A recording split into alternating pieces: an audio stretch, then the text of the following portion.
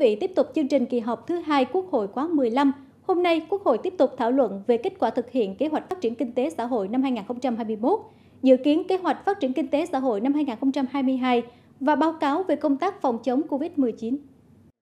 Theo các đại biểu, trong bối cảnh dịch diễn biến phức tạp, đất nước gặp nhiều khó khăn, Đảng, Quốc hội, Chính phủ đã đưa ra nhiều giải pháp quyết liệt, hiệu quả để kiểm soát dịch bệnh, tiếp tục duy trì đà tăng trưởng kinh tế. Tuy nhiên, công tác phòng chống dịch còn bộc lộ những tồn tại hạn chế như công tác dự báo tình hình, chỉ đạo phòng chống dịch ở một số địa phương còn lung túng, việc ban hành quy định thủ tục hành chính ở một số địa phương không nhất quán, gây khó khăn cho việc đi lại lưu thông hàng hóa. Tỷ lệ tiêm chủng vaccine ở nhiều địa phương còn thấp.